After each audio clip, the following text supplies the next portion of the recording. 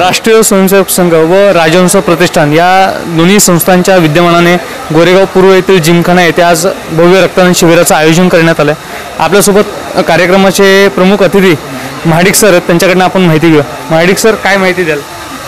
नमस्कार मी कृष्णा महाडिक. सध्या जगावर हे करोनाचे संकट आलं आहे आणि या संकटामध्ये मुंबईमध्ये लॉकडाऊन आणि हे संकट त्यामुळे घरातून कोण बाहेर पडत नाही. आणि मुंबईतले सगळे ब्लड कॅम्प हे थांबले होते. आणि त्याच्यामुळे मुंबईतले सगळे ऑपरेशन त्याच्यामुळे थांबले होते. ही जी ही जी गोष्ट ज्यावेळी मला मुंबईतल्या ब्लड बँकेने सांगितली की ब्लड नसल्यामुळे ऑपरेशन होत नाही त्यावेळी तीन जूनला पहिला ब्लड कॅम्प आम्ही आयोजित केला वसईला. आणि अशा प्रकारे आत्तापर्यंत साडेचार हजार बॉटल ब्लड मुंबईला आम्ही पुरवलं. आजचा जो ब्लड कॅम्प आहे हा गोरेगावमधला राष्ट्रीय सेवक संघ आणि राजहंस प्रतिष्ठान यांच्यामार्फत आम्ही करतो आहे आजचं जे ब्लड आहे हे बोरिवलीमधले जे थॅलेसेमियातली चाळीस लहान मुलं आहेत म्युन्सिपाल्टीच्या हॉस्पिटलमध्ये त्यांना हे ब्लड जाणार आहे. चांगल्या प्रकारे प्रतिसाद मिळाला.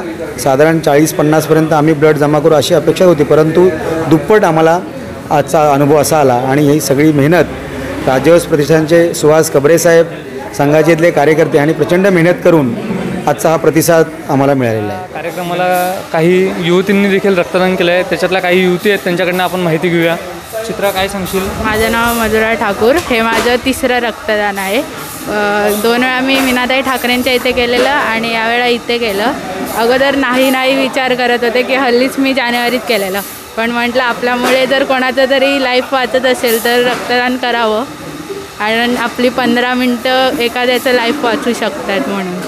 आज आपल्यासोबत राष्ट्रीय स्वयंसेवक संघाचे काही पदाधिकारी आहेत. त्यांच्याकडनं आपण माहिती घेऊया. साहेब काय माहिती द्याल? हा कार्यक्रम यशस्वी करण्यामध्ये या आपण या कार्यक्रमाकरता परत प्रयत्न केला होता कारण थॅलिसमिया बाधित जे मुलं आहेत त्यांच्याकरता आपण कार्यक्रम करतो आहे म्हटल्यावरती आपण बऱ्याच जणांशी बोललो. प्रत्यक्षात काही जणांना फोन केला काही जणांना व्हॉट्सअपवरती हा मेसेज दिला.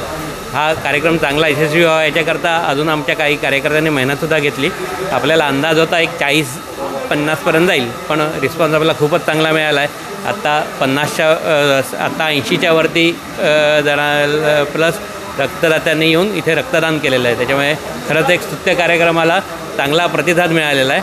जयप्रकाश नगरचे आणि इतर जे नागरिक आहेत ज्यांनी कोणी याच्यात रक्तदानात सहभागी झाले त्यांच्या सगळ्यांचा मी आभारी आहे. ब्लड डोनेशन केलं हो मी मे मध्ये अठरा वर्षाची झाली आणि पहिल्यांदा ब्लड डोनेट करते नाव आहे काय? स्टेफनी डिमेलो राहिला कुठे?